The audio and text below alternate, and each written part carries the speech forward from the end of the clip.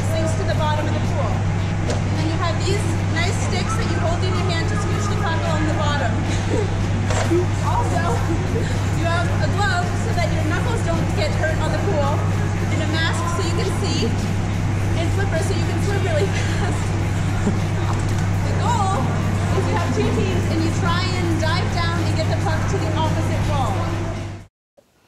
Hello, my name is Kayla and I'm the president of Underwater Hockey. I love this club because I have some of my best friends in it with me and everyone in it is just so funny and so great to spend time with. One of my favorite things we do is after practices we all go to the dining hall together and we have a team dinner.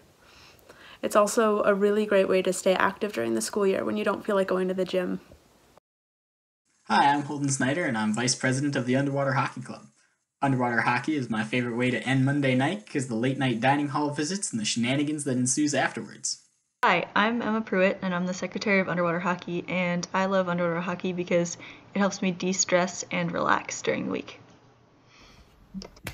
What's up? Welcome to WPI. I'm Asha. I'm the treasurer of Underwater Hockey, and it is totally a club you should join when you get to campus. So these are really weird circumstances right now. I know we don't want to have to film a video to say hi to you guys. We wish we could say hi in person, um, but unfortunately that's just how it is. So anyway, Underwater Hockey, you should definitely join it when you get to campus.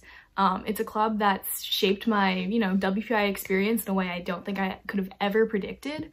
Um, coming to WPI underwater hockey was one of like the only clubs I knew I wanted to join, which is um, probably not your typical freshman experience, um, but I've never regretted it. So I've met so many cool, creative people through underwater hockey. You know, it's a really wacky club. We're essentially playing hockey at the bottom of a pool. Um, and, you know, so the people it kind of draws and the people who collect and you know come together to play underwater hockey are just like a really great group of individuals. Um, underwater hockey is you know a great way of meeting new people. I know a lot of people in my dorm um, were initially nervous about meeting people you know outside of our floor.